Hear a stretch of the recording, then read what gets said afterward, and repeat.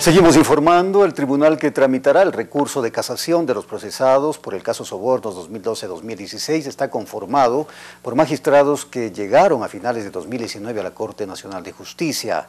Javier de la Cadena, José Layedra y Milton Ávila se desempeñaban en cortes provinciales antes de asumir el reemplazo de los jueces que fueron destituidos en una evaluación aplicada a la Corte Nacional el año pasado.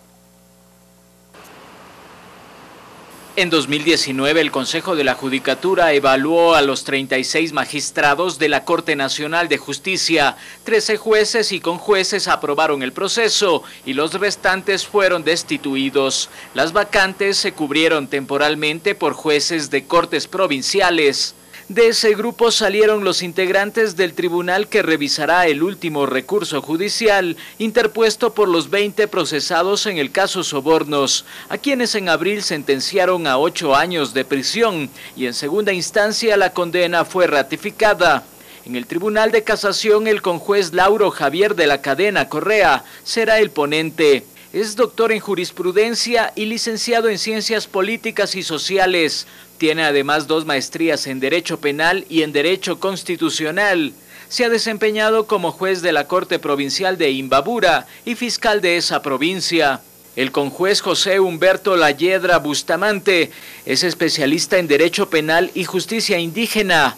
Es abogado, posee posgrados en Derecho Penal, Contratación Pública y Control Gubernamental. Además se desempeñó como Intendente General de Policía en Los Ríos, como juez civil de la Corte Provincial de Los Ríos y fiscal en esa misma provincia. En 2018 fue designado presidente de la Corte de Justicia de Los Ríos.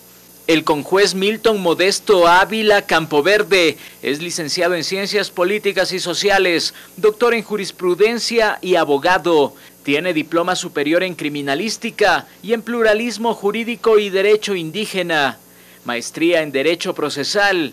Se desempeñó como juez del Juzgado Segundo de lo Penal de Morona Santiago, delegado distrital del Consejo de la Judicatura de Morona Santiago presidente de la Corte Provincial de Justicia de esa provincia y juez de la Sala Multicompetente de la Sala de la Corte Provincial de Justicia.